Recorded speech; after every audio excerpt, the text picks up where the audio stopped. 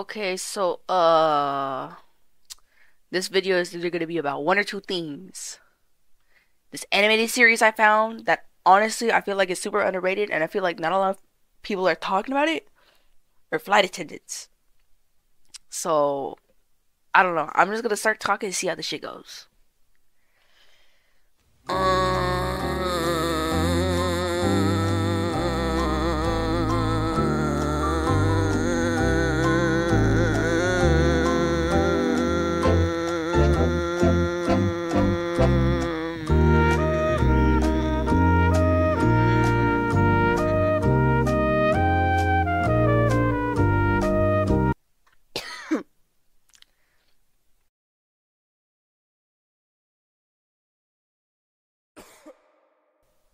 You know what? They got a union. They'll be fine. Anyways, I started watching the show. Well, I've been watching the show, and like the animation is basically made by this one studio called um Flying Bark. And honestly, they are fucking goaded. Like they know what they're doing. Every single fight scene comes out looking gorgeous. Like it's actually insane. Like, bro, you think your anime battles are good? You think, bro, these people are on it. They are on it. And nobody's talking about it. And it really is making me sad. Uh, to summarize the plot, it's basically about this, like, Uber driver. Right, his name is MK. And then, um, he gets an Uber, or he, he do Uber Eats. He's exclusively Uber Eats. Right? And then he goes to, like, this mountain in the middle of the city, right? Cause like there's like a construction thing happening there, and he got the address to go there. So he goes in, and then he finds like this super ancient, like, family, and it's his mom and her son. Oh yeah, by the way, I forgot to mention the mom and her son. Their names are Princess Iron Fan and Red Sun right?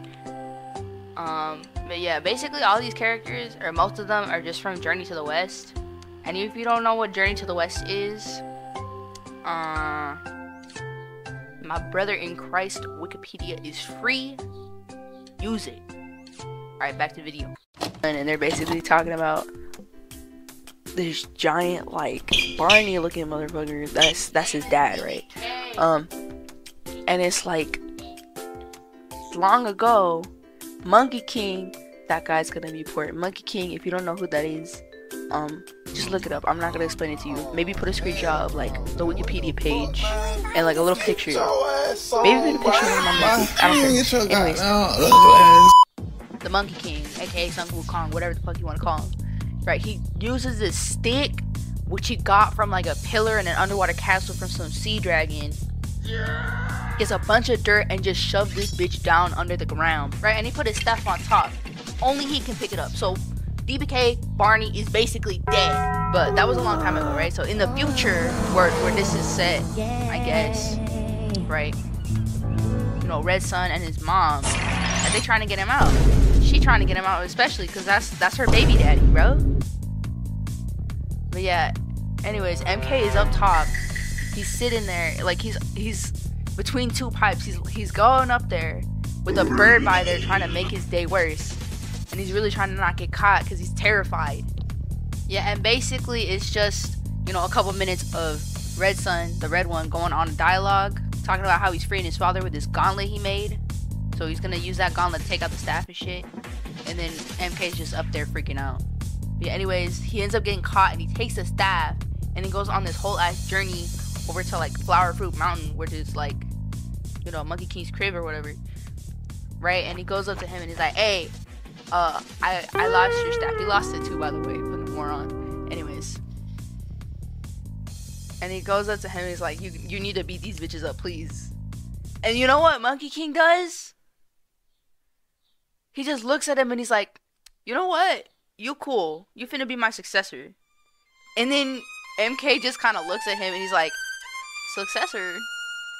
I'm an Uber Eats driver, bro. I ain't even got a car. That's a golf cart.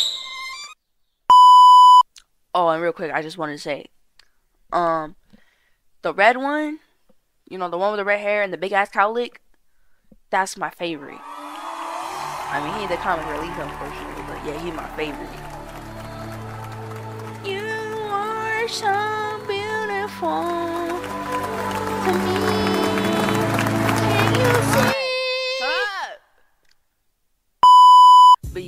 MK basically goes on a bunch of adventures, and it's hella cool, you know, cause like there's this one time where he got stuck in a bottle, Called the Calabash. and then he's like, it was a Matrix shit basically, but except it was like a lot more, like, basically if the Matrix was like, like a fancy store, the the what was it called? I forgot what they called it, but the bottle he got stuck in, It's called the was Walmart. Calabash. Yeah.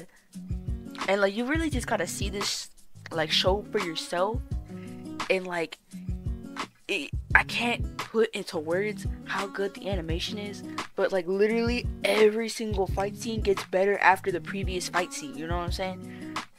Like it's insane. Also they have like a really funny visual gags and like every single screenshot of this or every single frame of this show is screenshotable. Like it is beautiful. It is gorgeous. Right, and it's funny. Like I guarantee you you're gonna find a favorite character. Like it's it's impossible not to like at least one character, you know what I mean? Yeah. Right, another thing though is like the voice acting talent. Like nobody knows this, but they literally got the voice actor of Goku playing Monkey King. And I know everybody or anybody who listens to this and they like Dragon Ball Z, they know how fucking crazy that is. Cause everybody knows that like Goku was inspired after like Journey to the West, kinda. So it's like crazy. But yeah. Also, like the character designs are pretty cool, and it's like um they're kind of limited to what type of um body they have. You know what I mean? Because they're all Lego and they're trying to make it look like the actual toy.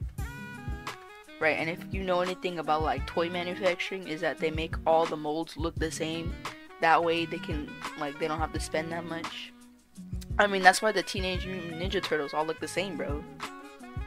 And then they tried to branch out a little bit in like 2013, but then people got mad.